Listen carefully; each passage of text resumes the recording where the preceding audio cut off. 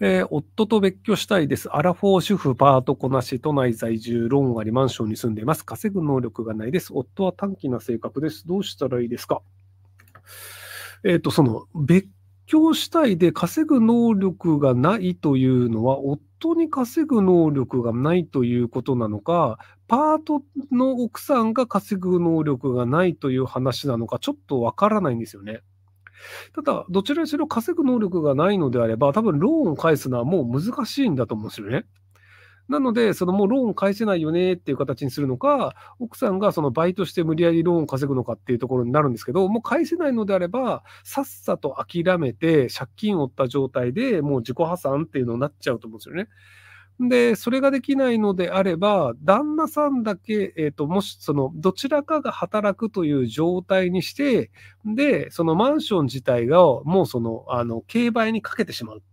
で、競売にかけて、その、どちらかの、その、あの、まあ、世帯分離した方が安く買ってしまうっていう荒技もありますけど、多分銀行にバレて怒られる可能性もあると思います。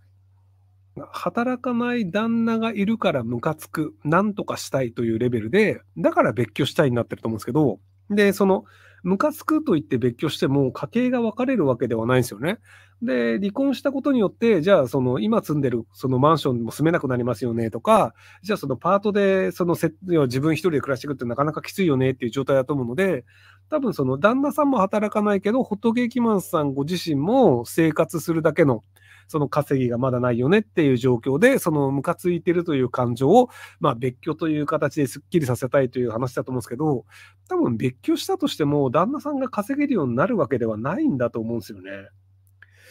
なので、やるべきことは多分、旦那さんのお小遣いとかを減らしてって、ある程度お金稼がないと僕は幸せになれないよっていう認識をさせて、じゃあバイトでもなんか仕事でもしたらっていうので、自分から仕事をしたいように仕向けるっていう方が、まだましなんじゃないかなとは思いますけども、はい。